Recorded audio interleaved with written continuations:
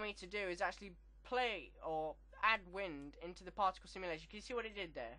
It's actually blowing the particles backwards. Okay? Can you see that? And fall off. Let's see fall off. Okay? You can see it's falling off. Okay, so now let's talk about animation then. Let's split the area. And now we're talking about advanced animation. So therefore, I'm going to want to uh, essentially here go, well, we'll leave it at this here. I'm hoping wind is in here somewhere. There we go, we've got permeability, R dampening, strength, strength, fall off, which is F fall. Um, so essentially these, these are the keys that we're allowed to do. So we can press I and insert a keyframe. So what I'm going to do is switch this all down to zero. All down to zero. And what I'm going to do is press I on that keyframe. Make sure you're not over the 3D viewport, but over the panel you want to animate, and you can say force strength or force fall off. It's the only possible keys you're allowed to animate. So therefore I'm going to say force strength. And I'm also going to say force fall off. Now what I'm going to do is go over to frame 50 and increase that amount and also the fall off. Now you won't see any changes because as soon as you move off that keyframe you've lost your information. So to record your information you have to insert the key, both keys, and so now essentially this is what you're getting.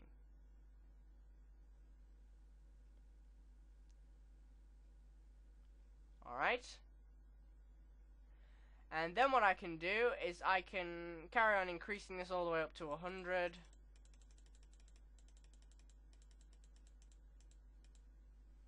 And I can say, yes, very strong, but have quite a bit of fall off.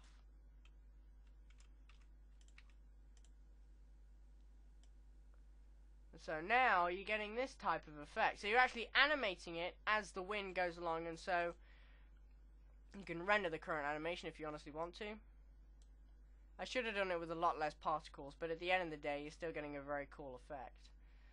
Um, so essentially this is you know what we're getting and what I can do is I can scrub scrub through them frames and get something like that. I can render the current frame. And so that is what you're getting. Okay it's actually blowing the particles backwards. And this is how you get grass blades and so forth to move in the wind. All you have to do is set the size of it obviously uh, via and again hair hair can be done this way as well. Um, essentially these blades of grass will be affected. And you can also have um, you know amount of steps. You can also say animated so they're recalculated in every frame but do remember that this will add a bit more intensity to this. But essentially that's what you're getting okay? Now also what you have is the ability to uh, set all these other things such as random dampening uh, or yeah, so basically other particles can be dampened and others others may be very damp and others may not be damp. And if they're not damp it won't be affected by the wind. If it is damp it will be affected by the wind. No matter how little it is it will be affected by the wind. So again you can have random dampening. That's good also for grass blades and so forth to blow them in the wind Again, you can choose the size of it, so you can decrease the size of the actual particles like so. And possibly if you shifted your lamp out here, you'd have a better render, like so.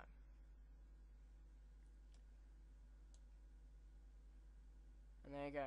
It does look really, really cool and very effective, and it's very easy. You cannot deny uh, this is extremely easy to do. It's probably the easiest thing to do.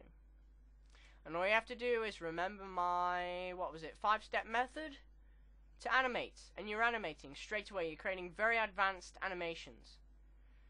Now, I want to talk to you about the other uh,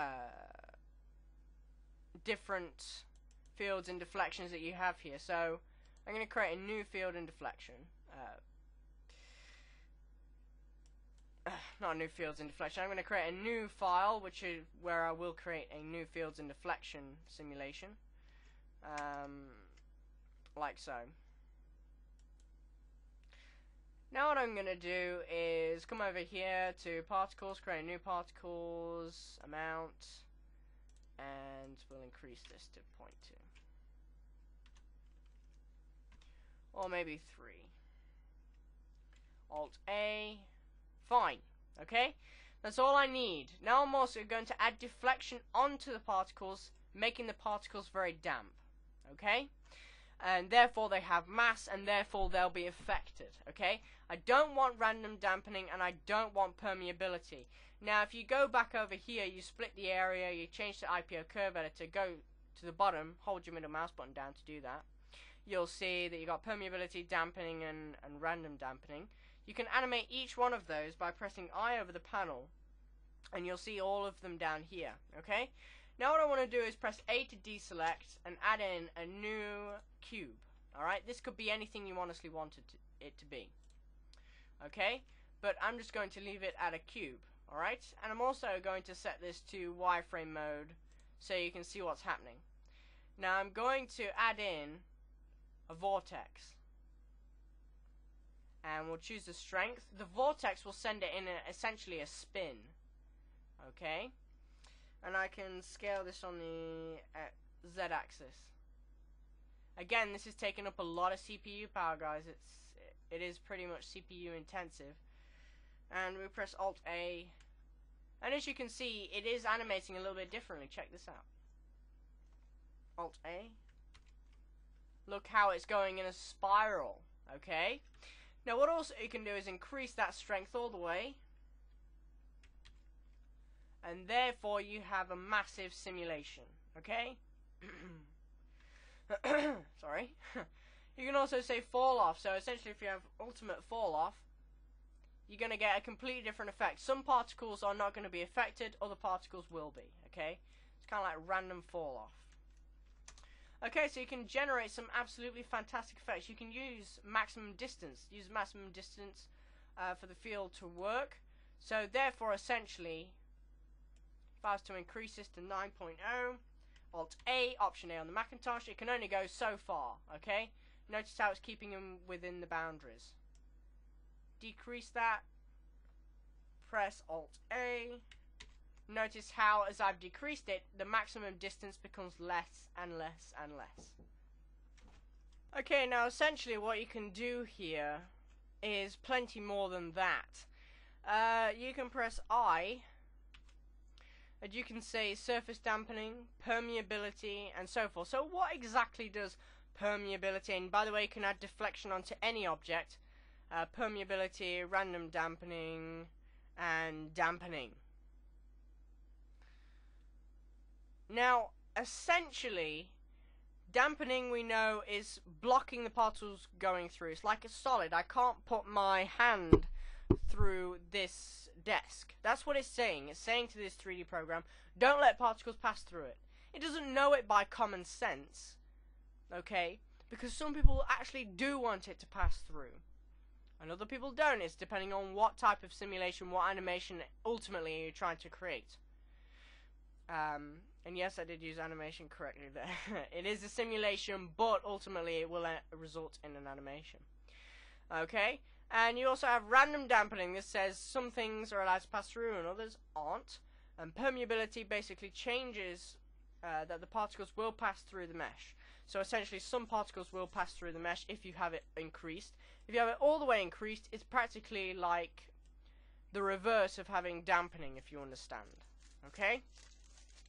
Um, and the reason why you would have that is because you can animate permeability. If you're not going to animate it, then there's no point.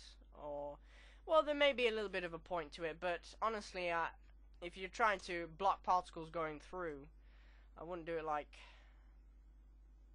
that, like so. But you'll notice now how the particles find it harder to pass through the actual object. Okay? It, it's very difficult because you have so many particles, and also this is also a, a deflection as well as a vortex. So I've talked about vortex, wind. Now what I want to talk about is the fact that you can have